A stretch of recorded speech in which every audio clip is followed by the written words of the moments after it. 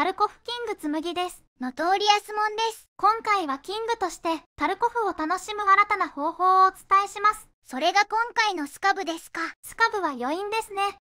根本的な話として、そもそもタルコフはどんなゲームか？殺戮ゲーヘ？ゴミ漁りゲーヘ？違います。私が思うに、タルコフは戦争ゲーです。ほほ。ファクトリーに行けば殺戮の顔を見せ、インチに行けばゴミ処理に見える、とても一つの作品に思えないこのゲームが一つに見えるか？いや一つでしょう。私が言いたいのは、タルコフには3通りの遊び方がある、ということです。本当に？本当です。遊び方一つ目、デスマッチ。私の遊び場所、ファクトリーはこの遊び方になります。対戦相手は金持ちのキルジャンキー。痺れるならこれなのだ。二つ目、ゴミ漁り。スカブ遊びなども該当するのだ。ほのかな死の香りが帰り道を地獄に変える。三つ目、自分磨き。タルコフは自キャラが育ちます。レベルアップと行動に関わるステータス。そして隠れ家や倉庫拡充などお金で変化する環境それらのステップアップも面白い。遊び方からおすすめのマップはこれ。ドドン。マップによ。いやいやいや全部ファクトリーですけど。ファクトリーはスカブならそこそこはされて PMC サリもワンチャンあるしぶっちゃけファクトリーだけでいいです。でもこれからマップを覚えるならこれですインチェは初心者向けってよく聞くのだ。そうかもしれませんがしたいことによってマップを覚えることが重要ですね。いくらインチが稼げるからってゴミ漁りが楽しくない人にとって無価値な時間でしかないですからね。というわけで今回は私のタルコフループを紹介します。タルコフループですって？はい。一生遊ぶ方法です。まずはこうやってスカブで稼ぐ。普通だね稼ぎは安定しませんが、直帰で3万は硬い。ファクトリーでも10万メイドできますよ。メインの稼ぎはここなので、無理しても稼ぎたいですね。スカブやったら20分以下ですよね。そしたら軽い装備でファクトリーでワンチャン狙ったり、ナイファーで自滅するなりします。すると大怪我しますよね。治療しませんけど、は、理想は重度出血です。回復を詰め込んで、レイド行きます。場所はファクトリー以外ならどこでも。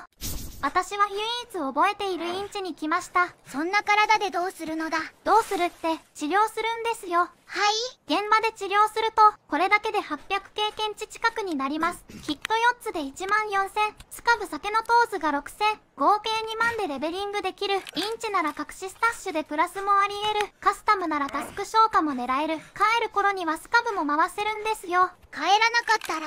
確か500はあったかな。出血していると無限に回復できるので、かなり良いレベリングになりますね。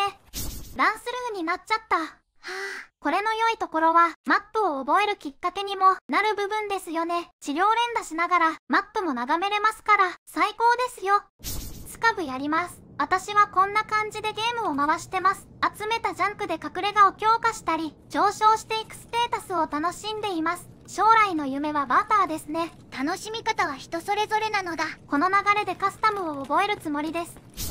このゲームはワイプ後じゃないと、どんなに頑張っても、物資で蹂躙される。重要なのはお金じゃないってこと。レベルがないと買えない弾薬だったり、そういう部分で負けるから、思考回数でまくることは不可能だった。結局、勝てないのは自分のせいじゃない。良い弾薬と防具を詰め込めない。状況のせい。不便を楽しめというより不利を楽しめって感じだよねフリマは購入だけ早く解放してほしい。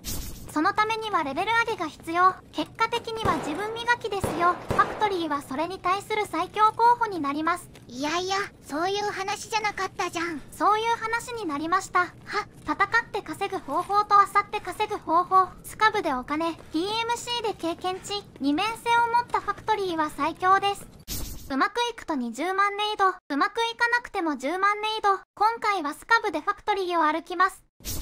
スカブで稼げるってどういうことだと思います？漁れる場所が多いとか正解です。隠しスタッシュだからじゃなくて、漁れるスタッシュの多さが重要です。ファクトリーは漁れる場所が30箇所あります。こんな狭いマップで？3分の1は服系のミニスタッシュですけど、さらにですね、 PMC はここで漁ることを嫌がるので、実質スカブ専用のスタッシュです。鍵集め最適ほどけじゃんジャンクは多いですね。さらに何かしらの遺体があります。会いたいます。そういった方向で一攫千金もあり、逆に言うと PMC を避けれるよね NPC スカブの打ち合いで察知できるので、意外と危険じゃないんですよね。そして期間の速さも魅力他のイサリも大きな利益を生みますがイサリの配置間隔と期間の速さでファクトリースカブは強いだいたい5分くらいのスカブ時間ですこれが素晴らしいんですよね。せっかくのスカブは長く楽しんでも。違うんだよな。もっと一攫千金も。そうじゃないんだよな。マップを覚えるために使ったり。わかんねえかな。じゃあ教えてみろマジで。長く楽しむなんて発想が社畜ですよ。一攫千金なら生きてる PMC しばけマップはファクトリー以外を覚えんくて構わん。以上です。ゴミ掃除楽しいでちゅか。楽しいわけないやろがそうですか。バッテリーと家電かな。出ても持っていけんけど。うおー稼がせろマジで。PMC 倒したら。PMC 倒すには武器が必要。特に MP153 ショットガンが欲しい。大抵は 7mm バックショットでワンチャンある。ファクトリーはショットガンゲート。そうなりますね。ファクトリー除霊みんなカースフやーなキルレ0.1がなんか言ってますよ。ゲーム向いてないからやめたら？お前じゃなんやかんやファクトリーでグラボ拾ったりタスク以外マジでなんとかなる気がしますよ。PMC は結構運ゲーと言いますか。そういう目的は無理ですね。おいやんのカコラスカブキルしても良いんだぜ。あまりの覇気に退出されましたわ。当てたら困るのはあの人ですけどね。カルマ的に。ケンスロクってマジできつい。あと1個詰めたら帰ろうかな。ラッキーこんな感じで平和かつ効率的に活動できました。十分ではないでしょうか。レイド時間は4分45秒。素晴らしいのだ。7万1242ルーブルの利益。よし今回はここまで。ちょっと待って。10万レイドになってないやん。ケホケホ。体の調子がどういうことですかこれは。お待ちなさい。仮にこれを5分のレイドとして紛糾を求めると1万4248なんですよ。いや大したことないじゃん。動画外で20万レイドってマジありえん。なんか言った？いえ別にもう一度だけ10万レイドのチャンスをください。良いですよ。ダメですよ。ダメでしょ。ダメだ。あさりますからね。ゴミーサリキングめ今回は大量だ。新品のブロックですよ。なんやかんや美味しい。一番いいのはバックインバック死体が転がってます。これは美味しい。リグは乗り換えかな。地味に足クリブですね。リグインリグ来ないかな。来たらおしまいですね。バックインリグが確定しました。もっと大容量のバッグつけてくれればな。それなんですよね。いくら集めれても容量が。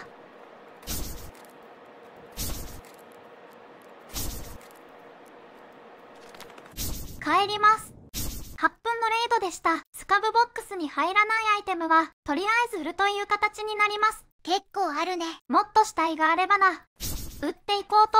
思います14万6198ルーブルの利益。10万レイドなのだ。いい痛いさえ触れたらこんなもんですよ。というわけでね気が向いたらファクトリー来てください。スカブで奪いに行きます。面白かったらチャンネル登録グッドコメントよろしくなのだ。それではまた今度